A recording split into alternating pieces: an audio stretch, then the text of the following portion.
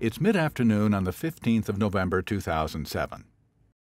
On the ramp at the Arlington, Texas airport, a flight instructor and two foreign students, one receiving instruction, the other riding along to gain experience in radio communication, are preparing for a cross country flight in a Piper Arrow. The day is calm and clear, and there's no outward sign that this will be anything other than a routine trip. Behind the facade of normality, though, lie disturbing indications of what's to come. The instructor for the flight, though relatively inexperienced, has gained a reputation as a quote unquote good pilot, albeit one with a certain reckless streak, namely a fondness for aerobatic maneuvers in non aerobatic aircraft. Later testimony from his fellow CFIs, corroborated by emails from one of the students killed in the crash, describes multi turn spins, barrel rolls, wingovers, and aggressive pull ups in normal category aircraft, hardly the stuff of typical flight instruction. Shortly before the flight, another CFI, the primary instructor for the student riding along to observe, cautions her colleague not to do any funny stuff. The warning, however, seems to be given more out of concern that the student will pick up bad habits than over worries about danger. Either way, it goes unheeded. The Arrow departs Arlington westbound, and from there, ATC radar tells the tale.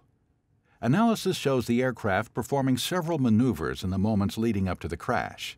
Most of the maneuvers begin with pitchovers, in which altitude is rapidly traded for airspeed most likely in preparation for aerobatic maneuvers, though due to the imprecise nature of radar evidence, this cannot be determined definitively.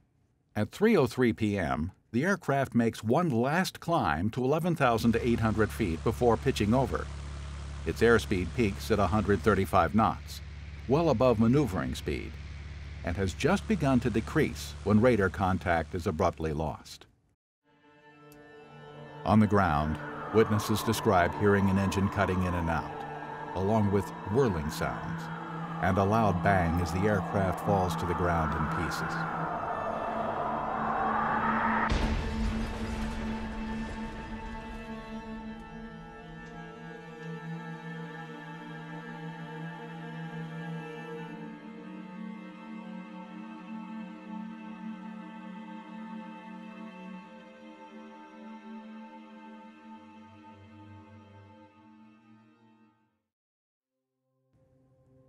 This is an admittedly extreme example of what can happen when unsafe practices are left unchecked.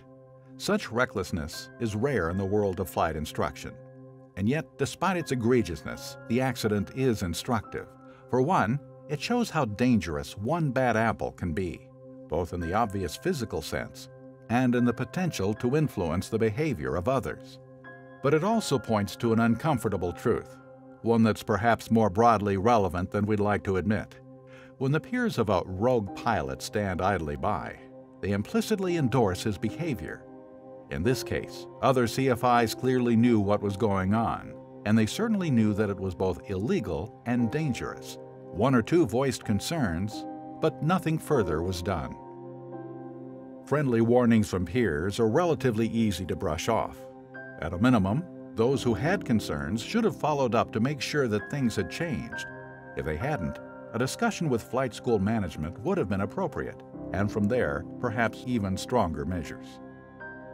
It's easy to follow the path of least resistance, to overlook safety issues, to go along to get along, to carry on with business as usual. Following a different path requires action, difficult choices, and sometimes even courage. But as more of us do it, the easier it gets for everyone and the less often we have to hear about accidents like this one.